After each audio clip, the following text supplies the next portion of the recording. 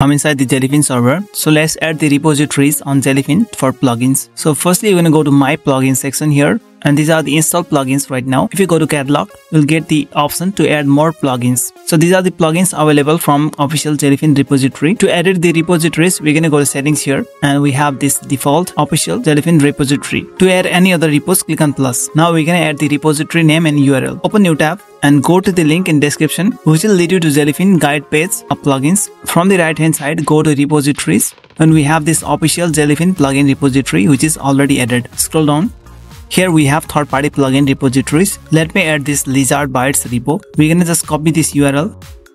Control C, go back to Jellyfin repositories and give this name. Paste the repository URL and click on save. Okay. Once it's been added, if we go back, we're gonna have to restart the Jellyfin server to make the changes take effect. Go up, go to dashboard and restart go once again to plugin section go to catalog. Now as you can see we have got more plugins than before. So that's how you can add the repositories for plugins on jellyfin server. Don't forget to leave a like on this video and subscribe my channel